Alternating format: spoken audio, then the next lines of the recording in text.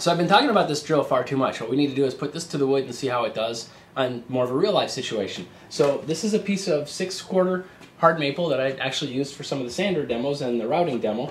And we'll put some holes in there, drive some screws. I do have that 3 8 inch drill bit. We're going to drill a 3 8 inch hole. It does have the hex driver head, so it will fit in the CXS. I'm going to do it with the CXS, both with the CXS and the C12. So you can see a little how they both perform if one stalls out but the other one doesn't. It gives you an idea, more real life terms, what that torque difference is. And then we're going to drive uh, a large lag bolt. This one here I happen to have a quarter inch hex driver for it, so we'll use that to drive it through. Now for pre-drilling the hole, I'm just going to use the, the regular 3 millimeter uh, Centrotec bit there. That's actually still pretty small for a lead hole for this lag bolt, so it'll put some pretty good torque on the drill. Then we're going to drive a couple long wood screws. Now these happen to be Robertson drive screws, so this will be a chance to show how the little mini driver bits fit into the end of the drive shaft. And uh, I'd also like to do at least a couple of these using the right angle chuck so you can see how it gets used and how you can directly put the bits in there. And then to finish it off, we'll just drill a couple really big holes. Just kidding. Okay, first up we're going to drill the 3 8 inch hole. This is a hex driver head. Happens that does fit in my CXS directly in the drive shaft. It does not on my C12, so we'll use the Jacobs chuck for that. But put this in speed 2 and just try pounding through it.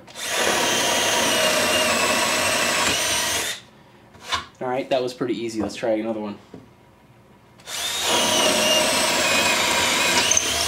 Now I'm not going for uh, smoothness here. I'm just pushing as hard as I can to get it to go through as fast as I can. Uh, both those times it went through just beautifully. So let's uh, Obviously, I don't think the C12 is going to have any issue at all with this, but we'll give it a try.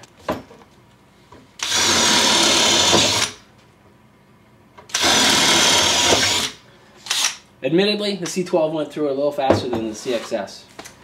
Next up, I want to drive this lag bolt. So for that, I'm going to pre-drill. Now I'll go ahead and I'll pre-drill four holes, you know, two each, using each of these different, we don't need to put the Centrotec for this, we'll just do it raw. Let me get a little further away. I don't want the wood splitting when that uh, lag bolt goes through. And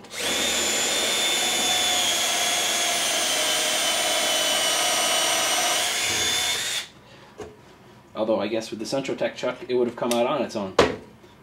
Let me go ahead and spin that, put that in.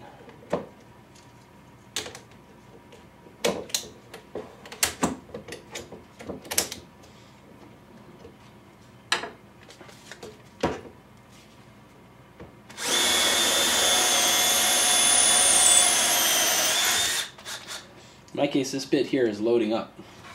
This one here actually had extremely good chip clearance. That's actually why I'm really liking these uh, Montana bit, not Montana tool bits.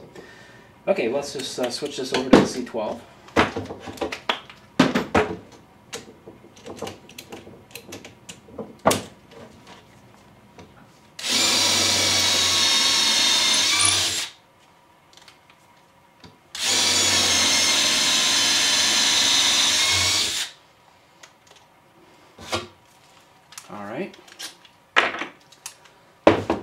Now for this lag bolt, that's going to be a, a, lot of work. See how it's going to do with this head. This might actually be too hard for it to do, so we might have to switch to making a bigger pilot hole, but we'll give it a try first. I'm not going to give up before we give that a go. So put this in speed 1, we're not going to want to go plow through this.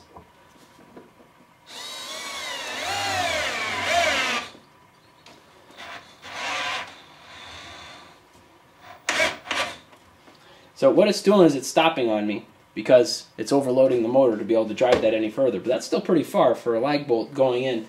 If it's hard for you to see, but the difference in size between this, this is easily half the size of what it should be for the pilot hole for this um, lag bolt. Whoa. So actually, I'm surprised it went that far. that was a little bit of a rough test. So let's see how this one does. Here does. I'm not sure if this uh, fits in there. This one here happens to fit.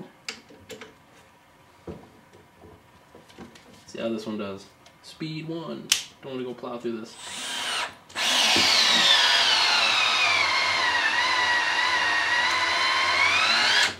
Tell me that's not impressive. That's all the way through. It just pushed this lag bolt all the way through. So I'm very impressed with that. In fact, uh, this maple is starting to mushroom up around here as all the excess is getting pushed somewhere. There's a pretty good mushroom down on the out on the bottom, and it's really hot. so, okay, you have more muscle for this if you're trying to drive lag bolts in improperly pre-drilled holes. So up next, I want to run these wood screws in. I'm going to take these other holes that haven't been used yet on the lag bolt test, and we're going to run those through. This is more the appropriate size for this wood screw, so I don't really expect much of a difficulty, but we'll just run it through to see how it goes. Put this on the Robertson Drive 2, directly on the shaft.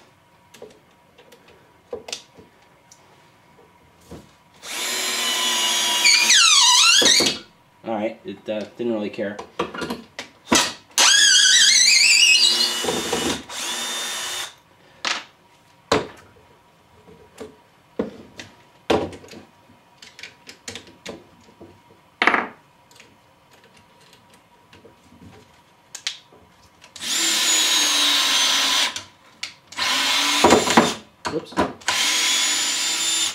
You can see that the speed 1 is still faster. It feels faster on uh, the C12. It is actually supposed to be faster. It's 450 RPM, whereas this is 400 RPM. But I didn't think that that was going to make that much of a visual difference. But you can feel a little bit of a difference as you're doing the drive. So just to quickly finish up, I wanted to do a little bit of work using the right angle chuck. So what I'm going to do here is I'm going to drill the large 3 8 inch holes using the right angle chuck on both drills, just because it's going to be a little bit of a, a more difficult task to do than uh, doing it straight.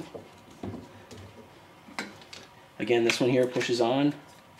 You kind of align it, and then as you lock it in with the Centrotec portion of the of the head, it'll capture into that tooth that's down below. Let me, oops, I rotated it while I put it on. So first we'll use the CXS. I mean, you can see how, because this doesn't require my hand to hold it in place, I can pretty much just plant it here and drill. Uh, let's uh, put this in more reasonable drilling speed.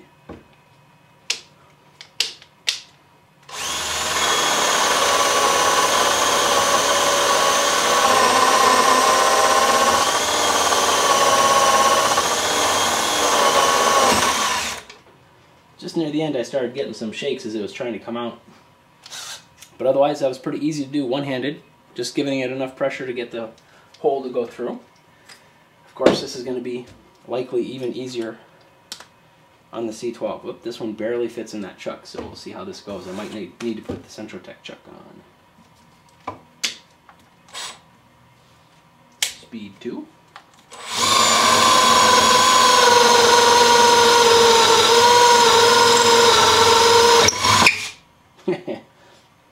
No problemo. Now as another demonstration, we can really quickly just drive these wood screws in using the right angle chuck with the small driver bit in there. So you have very, very short access to the... Set this back to speed 1.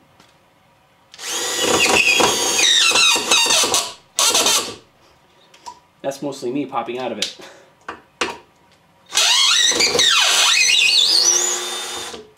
Alright. Now we can switch that over and do